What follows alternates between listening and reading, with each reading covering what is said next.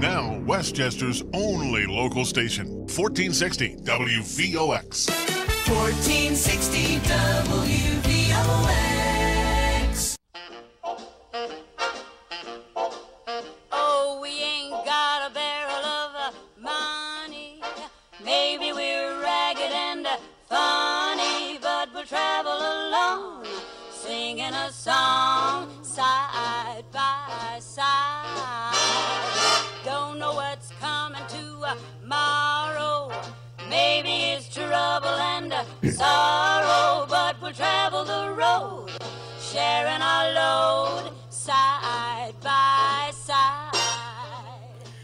Good evening, everyone. It's nice to be with you uh, once again. You're listening to WVOX 1460 AM. The program is called uh, Crisis Help, and uh, my crisis is that I have a face for radio, and my name is uh, Tom Sullivan, and uh, we are delighted you could be with us this evening. The number to call in, if you'd care to call with a uh, comment or a question or a movie offer, uh, the number to call is 914 636 0110.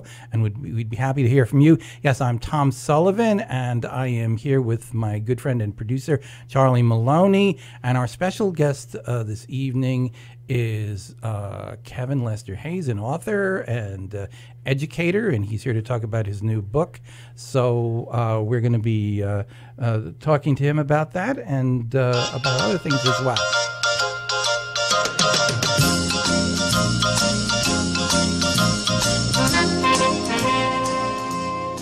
On November 13, Felix Unger was asked to remove himself from his place of residence. That request came from his wife.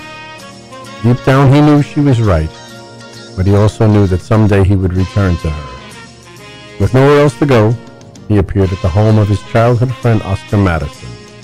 Several years earlier, Madison's wife had thrown him out, requesting that he never return. Can two divorced men share an apartment without driving each other crazy? Well, it is once again November 13th, which is uh, Odd Couple Day, which I believe is a national holiday now. Yesterday was, Ve- yeah. yesterday was Veterans Day. Today is Odd Couple uh, Day. and it was Charlie, uh, who never misses anything, who uh, reminded me that today was that day. How could I have uh, forgotten that? It's, uh, it's, it's such, a, it's such an, im- an important day for all of us. Uh, What a great show. couple fans. Really is just a wonderful show. And, um, uh, you know, uh, Tony Randall and Jack Klugman. You know, I was listening to a, um, not too long ago, I was. Uh, on YouTube, as I as I often am, and uh, I, I caught an interview with uh, the late Tony Randall, and uh, he was talking about the he was talking about the show about how it interestingly was never a big hit in its day. People don't even realize that now. It never got great ratings, and it was only in reruns. Uh, syndicated reruns that the show uh, became the classic uh, that it has become. Everybody loves that show, and um, uh, it it really took on a life of its own after the initial run was uh, over. And uh, Well, it's a, it's a show that Tom and I always love because it's it's a Garry Marshall show. Garry Marshall is uh, a guy from our neighborhood where we grew up. Penny Marshall, Garry Marshall, they lived a couple of blocks away from where we grew up, and um, you know it's about New York. It's a New York show. You, you know, it's a funny thing because we were just we were just uh, before you came in, uh, our our guest Kevin uh, and I were talking about the Odd Couple, and we were talking about how uh, attempts have been made to resurrect the show since the original one ended, and never very successfully. They did a a, a black version of the Odd Couple in uh, I believe it was the late '70s or early '80s. Wait, Was it 82? 83? thank you, Chuck. Chuck Thank- Donegan, thank our, you, Chuck. our engineer. Chuck- Chuck knows all. Chuck, Chuck does know all. And thank you, Chuck. And it was with Demond Wilson, who you might remember as Lamont Sanford in Sanford and Son, You big dummy. and also Ron Glass, who played Detective Harris in Barney Miller, another classic Great show. television show. And they played the Odd Couple. Um, I don't even remember who was Oscar and who was Felix, but it didn't really go too well. And then was just only about a year ago? Uh, one of the people from Friends. Um, I don't really know that show very well. Was it Joey Tribbiani? I, it might have been him. Uh, How you doing? yeah, exactly. That's the one. They he was he was Oscar in the latest uh, incarnation, reincarnation of the Odd Couple. Once again, it didn't do go very well. And Kevin was saying, and, and I hadn't even thought about this, it's because the show is really very Jewish, and um, Garry Marshall, Jack Klugman, Tony Randall, all of them Jewish, and um, uh, you know, And Murray the cop. and Murray the cop, who was actually Italian. Al Molinaro was his real name, but he seemed Jewish. But he was in the Happy Days too, right? He was also on Happy Days, Al Molinaro, and um, but it it has that kind of New York Jewish quality to it. the best comedy, right? Oh yeah, I mean, come of on. course, Abs- ab- absolutely. You know, uh, George Burns. I'm, I, I- don't know if I get off on this sidetrack, but George Burns, who was a very smart man, once said he said, you know, Groucho and Jack Benny and I, of course, we're all Jewish, and Sinatra. And uh, Dean Martin and Perry Como were all Catholics, but really we all belong to the same religion, which is show business. which I think is very true. Actually, if you're in show business, that is that really is your religion, no matter what your uh, no matter what your background is. But uh, you know, The Odd Couple is is a, is a, just a tremendous uh, show, and as Tony Randall said, it's just I mean, of course, it was written the play and the film Neil Simon, Right. and then they did the TV version, which Garry Marshall and a fellow named Harvey Miller, those two wrote the show. Uh, but um, as Tony Randall has said, he said the material is so good that he said it always works. He said Tony Randall had originally done it on the stage with Mickey Rooney, believe it or not, as Oscar Mayer. Are you serious? Mickey Rooney played Oscar to, to uh, Tony Randall's uh, Felix. hey, uh, Ke- Kevin and Chuck, I want you to. I'm going to put Tom on the spot. Tom knows everything, and he never gets one wrong. So I'm going to hit him with a with a trick. Do you remember when they were playing poker and Felix was cooking, and you know they basically just wanted chips and dip, and Oh, they- yes. and and Felix made. You remember what he made? I think it was Rumaki. It was rumaki. yes, yes. Remember, was that like I- liver? I- I- That's like liver. Yeah, I'm Like not even sure what rumaki is. I think Chuck, Chuck, rumaki, liver and bacon, pretty much. Yeah, yeah. it was disgusting. Okay, and maybe do- some pineapple. I do. I think. because Felix was a, was a gourmet, and um, Felix said, you know, I mean, not Felix. Tony Randall said, he said uh, he was asked about the show, and he said, you know, you have to do a show every week, and after a while, you start to run out of material. So they would ask them about things that they were interested in, and like, for example, Tony Randall was very interested in opera and um, so they made Felix interested in opera, and uh, they did. Uh, I'm trying to remember who was the opera singer that they had on. They had an actual opera singer on uh, at one point. I'm blanking on this, um, but uh, there's Chuck, we can't hear you. there- there- there's a, there's an opera episode. Tony Randall also loved ballet, and they got Edward Villella. You might remember that remember that, episode. yeah. Edward Villella was an, an a real you know New York ballet person. They got him to. I always remember the thing that was so funny because um, they went out of his. They went. This was the '70s. You have to remember. Singer was Marilyn Horne. Marilyn Horne. Thank you very much. I do remember that one now. But uh, this was the 70s, and Edward Villella plays himself, New York ballet star. And they, if you if you watch that episode, it's funny to watch now. They went out of their way to demonstrate that Edward Villella was not gay. because you know it was the 70s and like you know they even brought his son out at the end. He has his his, his actual son. And they, they went out of their way to prove that he was just a regular guy. Felix is giving him champagne. He says can i just have a beer? You know he's like just, he's just a regular guy. Call me eddie. Here's my son. You know.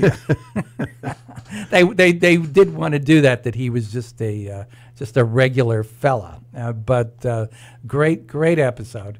And um, so anyway, it's just a it, it's just a it's just, just a wonderful program. Well, it's So- November 13th. November 13th, we celebrate the anniversary of that great program. So, anyway, our guest this evening is uh, an old friend, Kevin Lester Hayes. And Kevin is a, uh, well, former teacher. Right. You taught school for how long did you teach for? Yeah, 30 years. Yeah. 30 years? Yeah. And what grade did you teach? Uh, mostly fourth and fifth. Fourth and fifth Yeah, always grade. elementary school. I never want anybody bigger than me. Now, that's a, that's a smart idea. Good idea. Yes. Yeah. Yeah, you don't want anybody who's who can who can beat you up, of course. but you've written this is your like your second children's book that you've written. Yes, the first one, uh, I was on the You show were with on you. this show some time back to talk about which you had to do. It was kind of a Irish St. Patrick's themed book. Right. It was uh, called Joy of My Heart, a St. Patrick's Day tale. I loved that. Uh, I still have that book. In fact, I, I have read it. You would be interested to know to my grandchildren who really Wow. they love to be read to.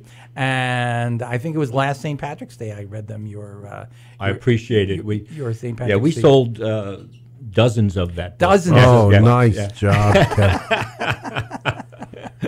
So we're hoping the second one. We're does, hoping uh, you'll do as well. even better uh, this time. So tell me about tell me about this book.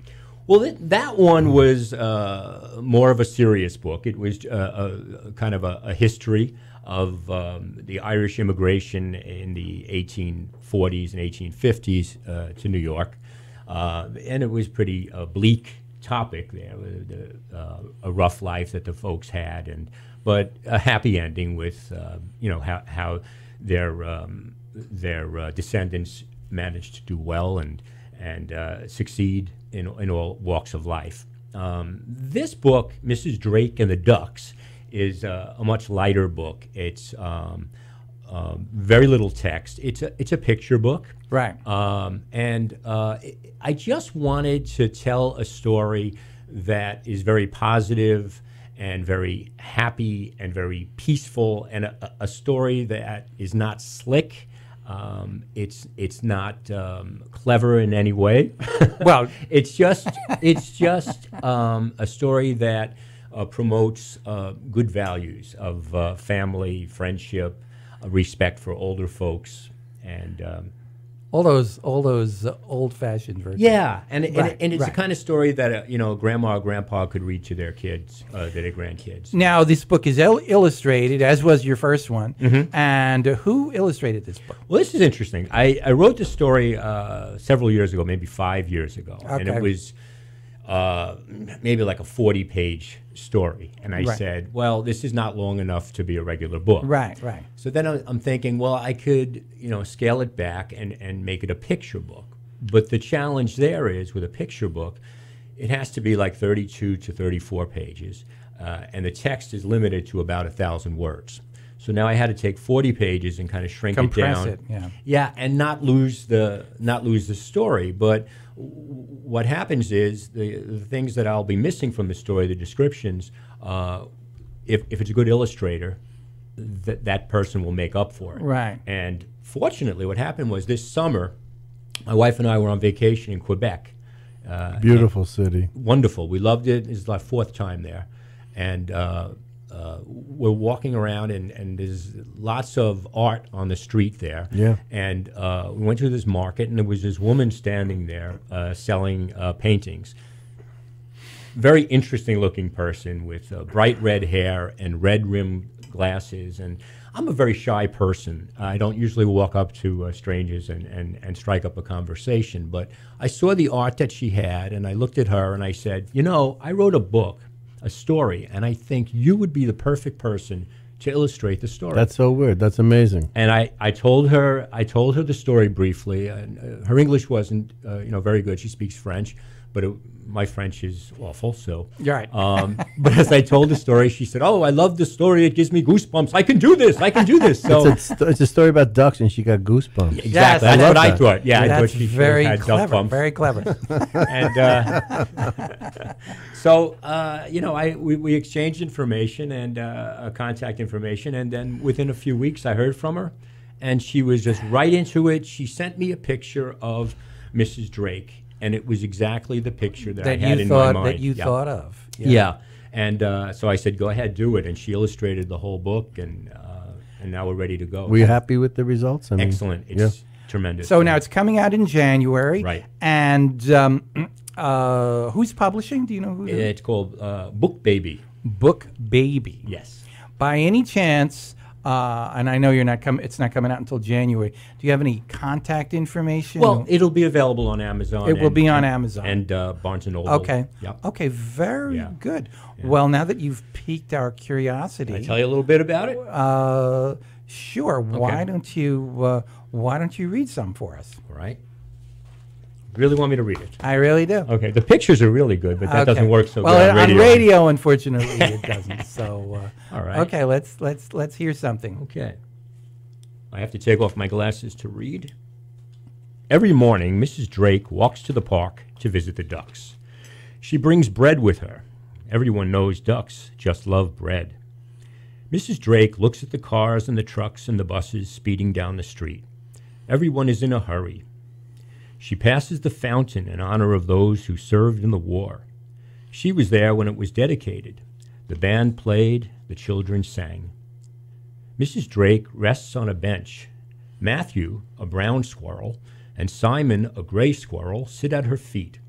A peanut is on the ground between them. They look up at Mrs. Drake. She shakes her head. Mrs. Drake takes the peanut and breaks it open. See, there are two peanuts in the shell. Learn to share. She reaches into her bag and gives each pu- squirrel peanuts. Everyone knows squirrels just love peanuts. Rachel Bluejay, Sarah Cardinal, and Bridget Robin walk in front of the bench. Each bird struts, turns, and spreads her wings. What's this? asked Mrs. Drake. Yes, you are all beautiful. The most beautiful, who can say? You are beautiful because you are you. All the birds join in. They walk and pose before Mrs. Drake. She reaches into her bag and tosses seeds to her friends. Everyone knows birds just love seeds. Mrs. Drake sees Jerry and Alex sweeping the path. Thanks. You keep the park so tidy. No problem. We're proud of our park, says Jerry. We're happy to see you here each day, says Alex. Mrs. Drake reaches into her bag and gives the men candy bars. Everyone knows cleaning men just love candy bars. She walks past the giant boulders. The duck pond is on the left. The sunshine dances on the water. A gentle breeze moves the tall weeds back and forth. Quack, quack, quack. Good morning, Natasha. Good morning, Schuyler. So good to see you. Where are your lovely children? With that, the young ducks appear. Mrs. Drake feeds them all. Some bread for Dasha, some bread for Dexter, some bread for Dennis, and some bread for Daphne. They all eat. All the ducks swim away except for Natasha. My dear Natasha, please tell me what is troubling you. Oh, Mrs. Drake, it is my little Dexter. He is a good duck, but lately he is not happy. We live in the loveliest pond in the most beautiful park. We have enough to eat. We have our wonderful friends, but lately Dexter is not himself. The sky turns dark. Mrs. Drake hears thunder in the distance. I must be going, Natasha. I'll be back tomorrow. Keep your family safe. The wind blows, the house shakes. Mrs. Drake gets home. The sky is as dark as night. The rain falls, lightning crackles, thunder booms. Mrs. Drake worries about her friends. Will they be safe? She will have to wait. Mrs. Drake bakes bread, but she thinks about her friends. She reads a book, but she thinks about her friends. She eats her supper, but she thinks about her friends. Mrs. Drake brushes her teeth, washes her face, says her prayers, and goes to bed, but she thinks about her friends. Mrs. Drake tries to sleep, but she cannot. She can only think about her friends. Natasha and Schuyler lead the little ducks into the tall, thick weeds. They will wait there until the storm is over. Dexter lags behind. He is taken up in a giant gust of wind. Dexter is carried high above the park. He looks down and sees the pond and the fountain and the trees and the benches. He's being tossed and turned. nothing is where it should be. And that's just a little selection of this wonderful new book by uh, Kevin Lester. Excellent, Hayes. Kevin. Thank you. Really nice. Uh, it's beautifully written, and uh, I was looking at some of the illustrations before. They really are very well done by uh, Alex Delavoye. I hope I. Uh, Delavoye. Delavoye. Yes. Yes. I, I'm not very good at my French either, but uh, we'll be looking forward to that book, which will be out sometime in January, Mm-hmm. available uh, on Amazon and uh, at Barnes and Noble as well. And uh, I just wish you a lot of luck with that. So Thank you. that's- That's Thank great. you. Kevin, You know- uh, just real quick because I know a lot of people in my life that are animal lovers, um, and what you captured there was basically that there's not a big difference between loving your own family or loving ducks or loving other animals because that's what it is. It's about taking care of others, right? And, and that's the that's the message that you, you know you can hear it coming loud and clear. It's wonderful. It's nice. Thank you. Thank you. No, it's very, very, very well done. Uh, okay, um, we will get back to that momentarily. We do have a caller uh, who I believe has uh, something that she wishes to share, something that she's she's doing currently. And uh, Kelly Cisco, how are you doing? Hi, hi everyone. Hi. Um, I'm Fran's daughter. If anyone doesn't know that, um, Kelly is often here on this program. She's the daughter of our, our host, uh, Francisco. And I know you've got something going on right now, Kelly, that you wanted to talk oh, about. I um, I kind of put myself through it, but I mean, everyone has stuff, but some people have more than others. And I'm a collector, extreme to the max. And I owned a store for like four years, a couple years ago. Truly and I yours, Kelly. I, re- I remember your store, yes. and I probably didn't learn a lesson. Um, so, um, my father was going to make me do this anyway eventually, but push came to shove, and someone, my boyfriend, actually is moving in the house, so I have to get rid of like two rooms of stuff, which is not easy to do because a lot of my stuff is stuff that um, places don't really take, like churches that don't want. I have a lot of uh, large plush stuff, brand new, but churches don't want them, so it ends up going into Goodwill or going in the garbage, and it's a shame because it is nice stuff. If anyone wants any of the stuff, they could take it. Well, let's talk. Let, let's talk specifics, Kelly. What specifically are we talking about here? kind of stuff. Yes. Okay, nice, really nice throw pillows, all different kinds. I have them in all colors, shapes, sizes. I have um, different design pillows. I have stuffed animals from every Disney character to every character. Big, big uh, stuffed animals, dolls in boxes, brand new boxes. Just so much. A lot of it is plush and fuzzy stuff. But so, um, yeah, uh, uh, some vases, some big, oversized houseware vases. So that's most of my stuff. Now, let me ask you something. Are you selling? Are you giving away? And Okay, I'm doing a bit of both. okay, I would like to make some money on it because I spent a lot of money on it. right. But the, at the end, the last resort is to give it away. I did not want to just give it to Goodwill, even though Goodwill does go to charity. I had given a lot there in the past. I wanted to go to some other places, but since the the the type of stuff it is, a lot of churches don't want fuzzy stuff. But if anyone else listening wants uh, new, brand new merchandise at a fraction of the cost, now, how? Where do they? Where do they go, and how do they contact you? Uh, they can call me. My house is in New Rochelle, uh, near Eastchester. My house is on Mill Road. But anyway, you can call me at 914-589-6196. And I could have to get rid of this could you just repeat that once more? 914-589-6196. Or how about online? Do they, Um, is there a website or something that they could contact you that way? There is a site we could look at a, some several photos. Kelly Santa, Kelly K O Y Santa S A N Santa dot com. But um, or you could go to my father's site, Fran- transfrancisco.com. Transfrancisco, he has it up there too. But um, I literally have to the end of the month because my boyfriend's moving in, and my dad's kind of happy in a way that he's moving in because it finally does what he wanted me to do a long time ago, is organize the house.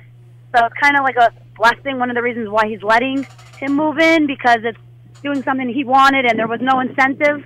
And if that's the incentive, then you know. But um, yeah, um, it's also learning to part with a lot of stuff. I don't know with any addiction or any um, I don't know if problem's the right word, but addiction. It's hard to Part, overcome it. part with part with your stuff. Yeah, it's like, but it's yeah, it's an addiction that I have is collecting, and hopefully, after this is like, uh, I done it before at my store. Had to give away stuff, and did I learn a lesson? Hopefully, this time Okay. I uh, learned a lesson. Something got a positive come out of it. I'm thinking of having space in my house now to do more stuff. So I'm trying to think of the positives that I'm getting out of it, not just the loss of stuff. You know. Yeah, well, it's, sometimes we hold on to things, you know, unnecessarily. But uh, well, I want to wish you a lot of luck with that. Thank you very much. A- and uh, and uh, you know, uh, one more time, give us the phone number. Nine one four five eight nine six one nine six. That's my cell phone. I have lots and lots of new merchandise with tags on it. Great for the holidays. You would never know it was you. You would never know you didn't buy it in the store, and it's at like a fraction, like literally like a couple of dollars. You get like really good quality, expensive stuff for a couple of dollars. You know, I'm just uh, just if you want it, you can come and take it. All right, Kelly. Well, thank you for calling in, and Thank we you wish very a much, of- Tom. Wish you a lot Thank of luck you. with that. Okay. Okay, bye. Okay. Getting back to. I hope she liked my book. I'm, ho- I, I'm sure she loved your book. You know, maybe we could, maybe she could sell some copies of your book. That might be. I should have. That's a asked, good idea. I should have asked about that. But um, now, how long have you been interested in writing? I mean, this is your second book. When when did this whole idea of writing first occur to you? Uh, I, I well, that first book, uh, I, I was I thought that there was a gap at the time uh, of uh, good information about Irish history Right. that kids were reading here in America. Uh, it was a lot of just silly leprechaun. Yes. Uh, potato stuff, and I wanted uh, something more substantial. Okay. So that's why I wrote that. This, I just wanted to. I, I, maybe it's just a reaction to uh, reading lots of kid books over the years that are just too slick, Right. too sly. Um, you know, uh, that that I wanted to get back to something that that a little more of a warm feeling for people and that Okay. have uh, the kind of values that I think that people need to to to give to their kids today. So Well, I wish you well with that. I always admire people who have the uh, discipline uh, to do that. I mainly write jokes myself, and the thing. I like your jokes. I read them. Thank you very much.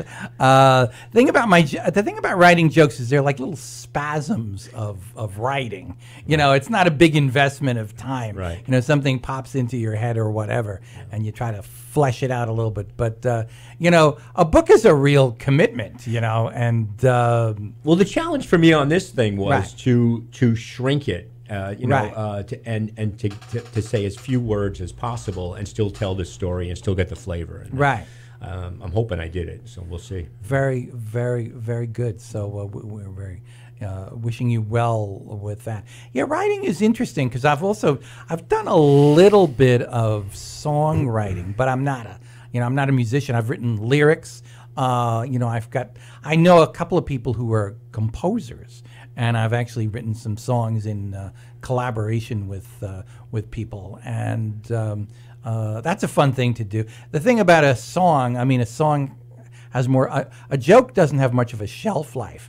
You know, it's here today and it's gone tomorrow, and you know, like uh, so. But if you write something like a book or a song, and if it is successful, then it kind of takes on a life of its own. So, uh, and it's something to. You know, it's it's it's it's part of your it's part of your legacy. So uh, the, the the the book will uh, the book will always be there. Um, we were talking about comic books earlier, and I wanted to acknowledge uh, the death of Stan Lee, who died yesterday. I believe he was 95 years old. Yeah. And uh, most kids uh, read comic books uh, growing up. And I noticed when I was a kid, because Stan Lee was the creator, I didn't even realize this, he was the creator of Marvel comic books. Now, Spider Man, of course.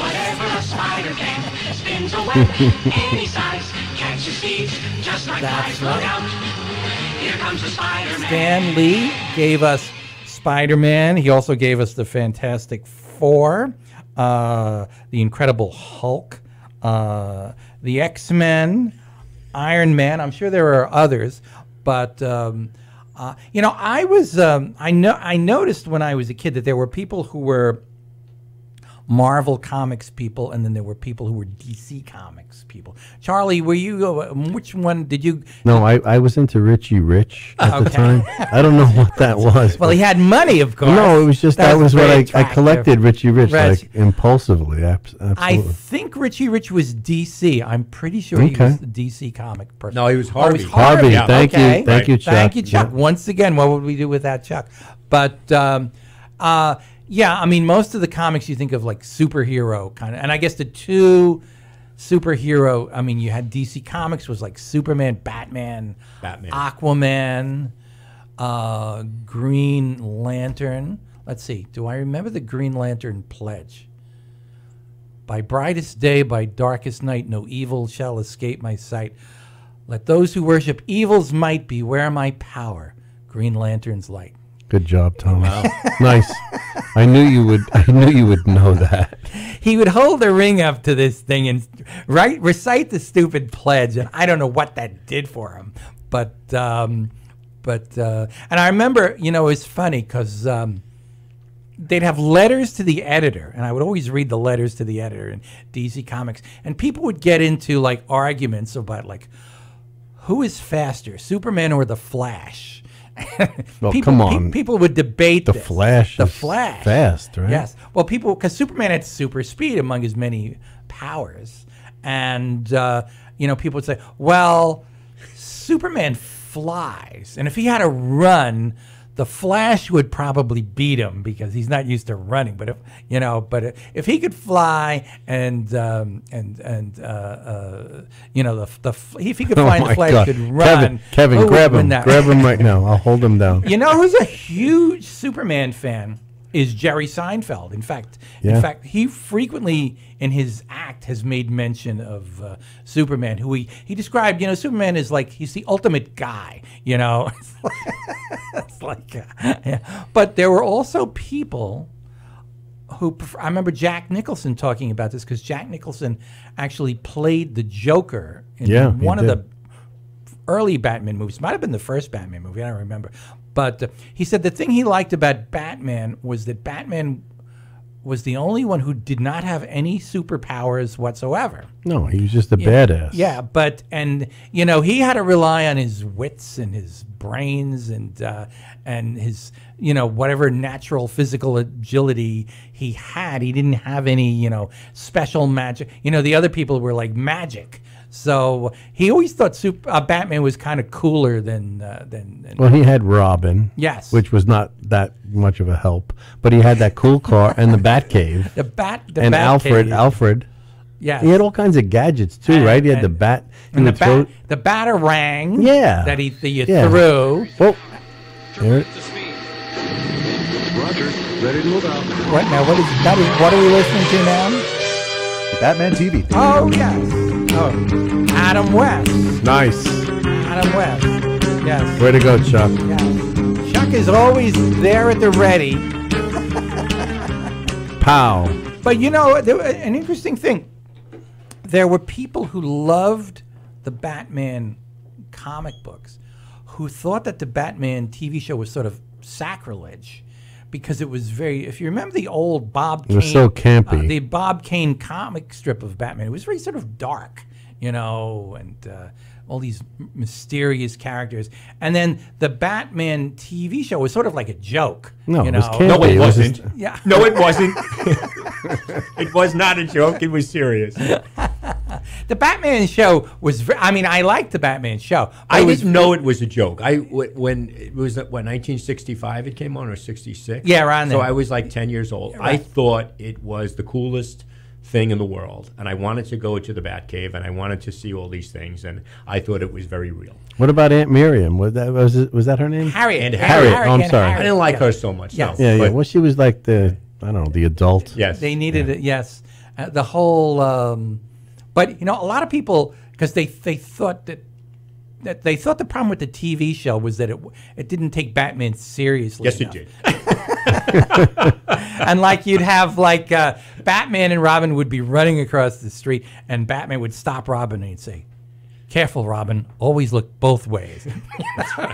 Well, yeah, because Robin was going to like help an old lady cross. right. You know. When they they knew children were watching, and children you should look both ways before you cross the street, so they thought they would help out. And then you remember they always did a thing where they'd be climbing up the side of a building with a bat rope and stuff like that. Somebody stick their head out the window It like was- Jerry Lewis yes, or somebody. or exactly. We always have like the celebrity of the week. It was like Well, Jerry Lewis one time. Ju- you know, I was also probably about eight when this came on, and then I saw Julie Newmar, and I was like, okay, Gorgeous. I'm done. I'm. You know, check please, because yeah, Catwoman. There were a couple of Catwomans. There was Eartha Kitt. Yes, There was. Julie Newmar, and there was um, Lee Meriwether. Lee Meriwether, Meriwether right? was the third but one. Yes. but it was it was Julie Newmar that Julie was hot. I mean, she really was. She was. She was very, uh, very appealing, and there was always this the undertones of you know. I, I don't know if I would call it sexual tension because it was such a silly You're doing a wash your mouth out. I swear to God. between her and uh, between her and Adam West. But um, Adam West, a very very sexual guy. and uh, but um, a great great show really very different from the superman of the 50s which is another interesting thing because um, the, the superman tv series uh, you know it's funny the things uh, I've, I've talked about being uh, probably emotionally scarred by watching too much television when I was a kid. Oh, absolutely. I remember, you know, I, I- like as a little kid watching television, and I remember hearing, I was only like four years old, uh, hearing that uh, George Reeves had killed himself. You know, the guy who played Superman had killed himself. And um, Alfalfa from the Little Rascals was killed in a knife fight. oh my God.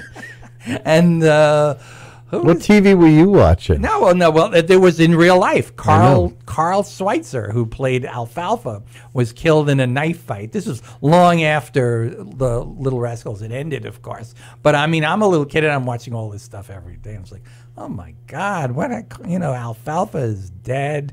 Uh, Superman killed. Lou Costello, who I loved, died around that same time. I used to watch Abbott and Costello, one of the great TV shows of all time. Lou Lou kicked the bucket right around that same time. I, as a little kid, I'm thinking the world is a dangerous place. I better watch more Bowery Boys and uh, Bowery Boys, yes, they they lasted a little longer. I love the Bowery Boys, uh, by the way. Um, in fact, I was watching. Oh, I, I think I've told you this story. Um, I had a friend, very interesting guy. He was a, is a legend, kind of a legend in a way. He has a, something of a cult following. A guy named David Allyn. He was a no singer. David Allyn. Yeah. David Allyn, a wonderful singer, and I became friends with David uh, later in his life. Uh, we became friends. I was kind of like David's roadie. I would go around with him to his gigs because he didn't have very much money and stuff like that. So I'd help him carry his sound equipment. No, but he knew everybody. He did. He was In- in- amazing. he had incredible stories. He about knew everybody, and people used to think he was making it up. You know, oh yeah, sure, but he really did. He knew. He he. Um, I remember being in his. Uh, uh, I remember him being in his home once, and he showed me uh, one of his old albums that had liner notes that Sammy Davis Jr. Uh, had written, and he showed me a review of a concert he did once where he was the opening act for uh, Ella Fitzgerald. And uh, he knew Sinatra. I mean, he's an amazing guy. He knew everybody. But I remember one time and he would mention things to me like as if I didn't know. Like he said, he said to me once, he said, I used to be friends with this actor. He said, you never heard of him. His name was Huntz Hall. And I said, what? Satchula. Huntz I said, you knew Horace Debussy Jones? I said, I was like, I was completely stunned. And uh, then he said to me, he said, yeah, he said, you know, one time they did a, uh, a Bowery Boys uh, movie because it, it got very silly after a while. The Bowery Yeah, the Boys. Bowery Boys meet the Wolfman. Yeah, it was right, ridiculous. exactly. They go to Mars. Yeah, Didn't they go all, to all Mars? kind of silly stuff. There was one where Sach suddenly develops a great singing voice and he becomes a famous singer. So he said they needed to do this movie where Sach becomes a singer. So Huntz was a friend of mine. He asked me if I would do the vocals. And uh, I said, Oh my God, that was you?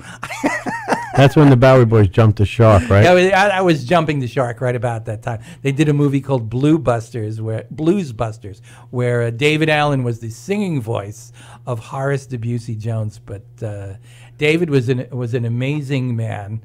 Um, I can tell this story. I can tell this story now about David because he's dead, and he won't he won't get mad at me. But uh, he told me that because David David got married a lot. You know, you said he was married like four or five he times. always got married, always to chorus girls nice. and he told me, I, I shouldn't tell this, but I'll tell it. But uh, he he was going out with this girl, but she was also dating Joe DiMaggio at the time, and um, Marilyn? no, this was Oh. not this was not Marilyn.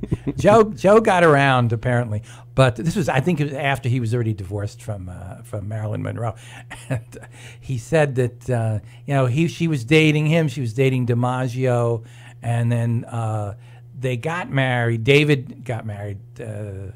Uh, and you know she was she she was pregnant. They had a little girl, but he was always um, You told me Da- this. David Yeah. always felt that maybe the kid was not his. So I remember saying to David, I said, "Well, was your daughter unusually good at sports?" It's like, And she drank a lot of coffee. yes, Mr. Coffee. Remember that? So, so David, David has passed now. So hopefully, uh, but he always he always wondered if uh, if, if this little girl was his or or uh, or Joe DiMaggio's. But anyway, getting back to however we got on this, uh, but uh, Oh wait, Thomas. One thing. Yeah. Uh, Thanksgiving is coming up. yes, I thought maybe we could just go around the the you know the table. right, right. Thanksgiving is it's a great holiday, but when we were kids, when we were younger, you remember your family getting together. I mean, my family come in from New Hampshire, and people would come cross country. You know, I mean, it was one of those things like Everybody gets yeah, together. y- sure, the, yeah. the country stopped, and people got together with their families. I don't know if that's hundred percent the same anymore, but it's still a time when everybody is supposed to just say, okay. Let's take That's let's true. take an accounting of our blessings and Yes. our friends and family and just chill out and I you know it's not as as much like it was in the past but it's still that one holiday I've always loved I've always loved Thanksgiving. My mother loved Thanksgiving. And you know, it's funny because my parents came from Ireland. They don't celebrate Thanksgiving in Ireland. My parents immigrated here from Ireland. But uh, my mother, it was the one American holiday that my mother really adopted. And it became very special to her. The nice thing about it is you don't have the kind of pressure mm-hmm. that you have with Christmas. Christmas for a lot of people is very stressful, you know, and there's all shopping and gifts, and people feel people feel very pressured. I think with Christmas and Thanksgiving. I mean, obviously there's work that goes into making dinner and everything like you know, seven hours of cooking for 20 minutes of jamming and then falling asleep in the living room with your pants open yes, exactly. know. uh, no, exactly. That is that is the case.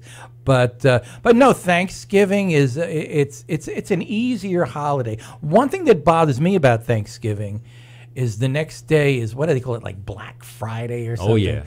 And you have all these people going out at like six o'clock in the morning. There's some trying people to who get go deals. out on Thanksgiving evening. I've heard Yeah. about that. Yeah, they leave their family. well and why wouldn't you go trample strangers to get a big screen tv you know i mean it's it's, it's the american way Yeah, people get into the, and then there's been a big thing about that too, where um, like as far as whether getting the day off or something like that, because f- for most of my working life, uh, Thanksgiving has been a four-day weekend. Most places close. Yeah. but a lot of people, uh, depending on what you do, certainly if you work in stores. Um, in fact, I've even heard of stores opening on Thanksgiving night. Yeah. You know? Yeah. And you know, people have to leave their homes. I mean, it's one thing if you choose to do that, it's up to you. But uh, I mean, if you work in one of these stores. You know, you might have to leave your family on Thanksgiving evening and and go out and go to work. And you know, I- think it should be a time where people just are together with their families. And uh, I've always loved Thanksgiving. It's just uh, it, it it is a great holiday. And it's also a football day, I believe. Uh, absolutely. I, I know you're a big football fan.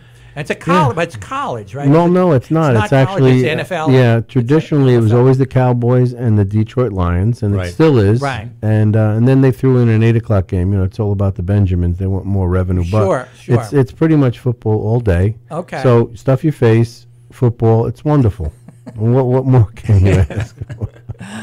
Now, I need to ask you this. I hope this is not a sensitive question. You are a, a huge uh, Green Bay Packers fan. How Yes. Are, how are the Packers doing this year? Well, they're not doing great. They're Okay. doing okay. Okay. We do have Aaron Rodgers, who's the greatest quarterback. At least he's one of the greatest quarterbacks. But, you know, it's a tough league and there's a lot of parity. So uh, everybody's out there to win.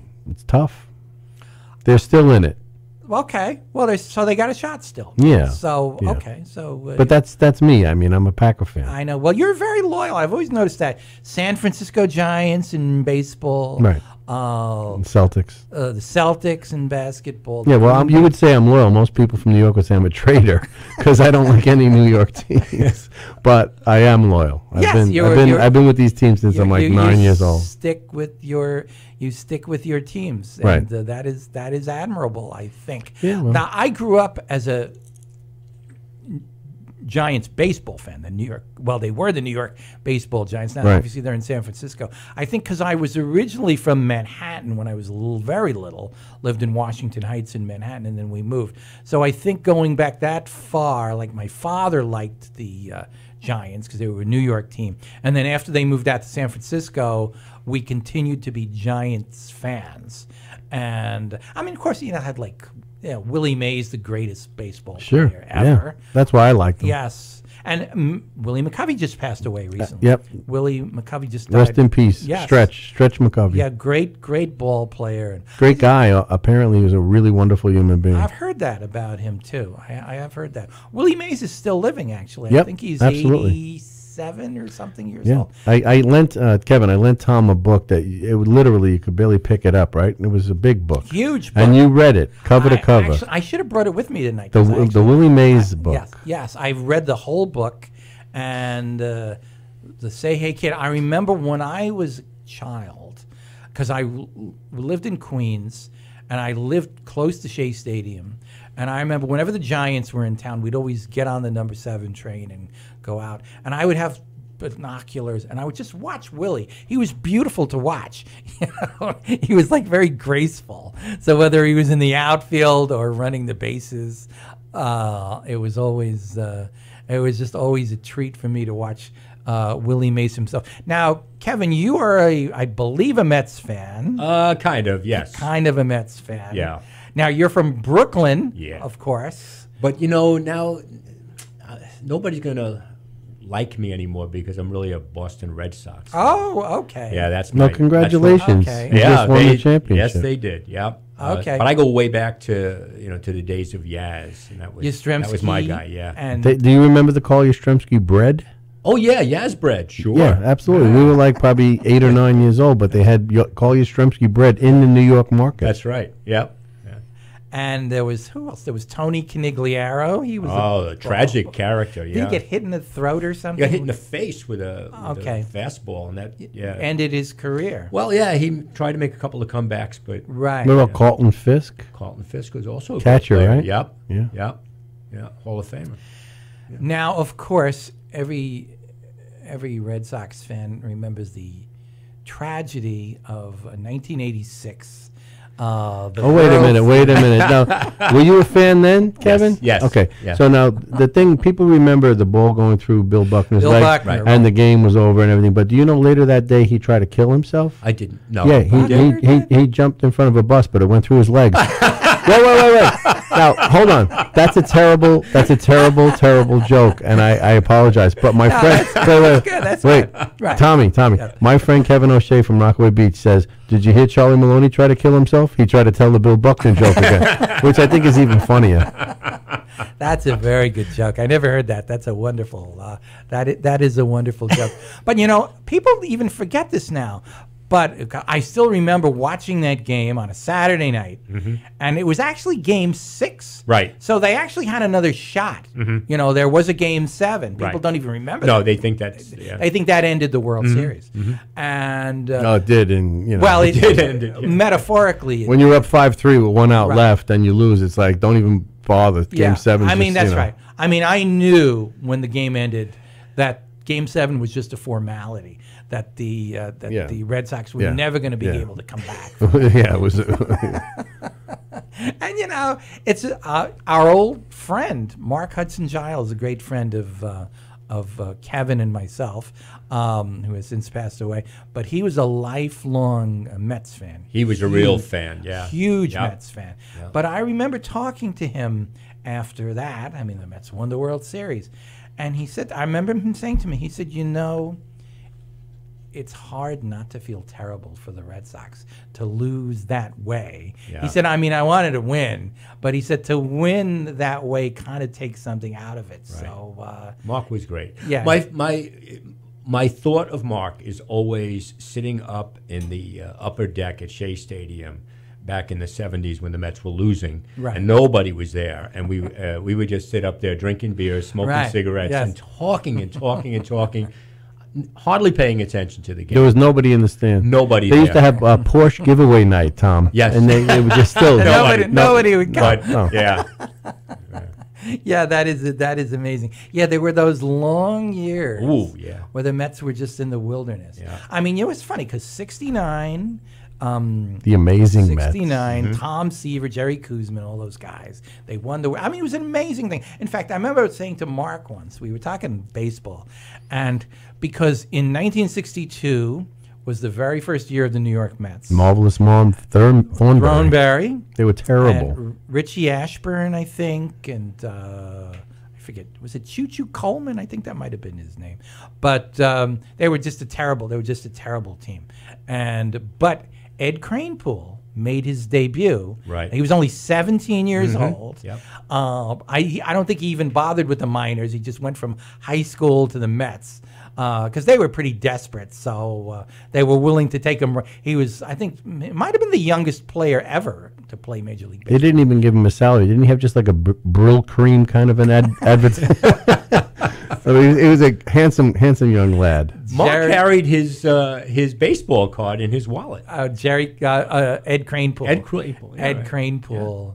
And uh, no, just, uh, but I remember saying to Mark about this. 1962, the Mets had a record of 40 and 120. There were two rainouts. Right. You know, otherwise they would have probably they would have lost even more, more than likely. They won 40 games. They lost 120 games, which is to this day a major league Is record. it? Did Baltimore? Do, uh, they made a run for it this year, right? I don't know. They got close. They Yeah. were terrible. Yeah. People have gotten close a few times, but I think the Mets still hold a record. They lost 120 games. Meanwhile, Was Casey Stengel managing them back yes, he then? was. Yes. And Yes. he was he was just pissed off the whole time, right? Well, because he had been fired by the Yankees two years earlier, Right. and then he gets the, the Mets. This horrible, you know. And there's a there's a famous uh, s- Casey Stengel ism. Can anybody here play this game? That was what I used to say. Can anybody here play this game? But the Mets were just, it was their first year. They were the worst team in baseball history. Meanwhile, over in the Bronx, the Yankees won the World Series. They beat the Giants in 62. I don't want to talk about it. Willie McCovey hit a, a line drive, Yes. and they had this shift on. Remember they put the Right. shift on. Yes, exactly. And if, if it had gone through, the Giants would have won the World Series. I know, seven game series. Oh my God! But- I was too young to uh, be upset. But yeah, I, know. I've heard but, about it. But still, but the interesting thing was uh, Yankees win the World Series. Mets the worst team in baseball history. And I remember talking to Mark Giles about this, and I said, "What kind of money could you have made if you bet somebody at the end of the '62 season that before the Yankees would win another World Series?" the Mets would win a World Series. What kind of odds could you have gotten? No, uh, there- there was no way. Mark, Mark said you'd be a multimillionaire. But if you remember, 63, Yankees played the Dodgers in the World Series. They lost four straight. 64, they played the Cardinals in the World Series. Seven games, they lost in seven games. And then the next year, the Yankees just collapsed completely. Suddenly, they were a horrible team. And then it became like the Detroit uh, Tigers and St. Louis Cardinals Right. became the two premier teams, right? Right, exactly. But after 64, when they lost to the Cardinals, the Yankees did not get into the World Series again for, I think it was 76 or 70. Yeah, but then they then they started winning. Oh yeah, but then they were great. But meanwhile, the Mets win the World Series in in '69. See, in '62, I was only seven years old, and I knew I should have made that bet with somebody because I would I could have been I could have been retired.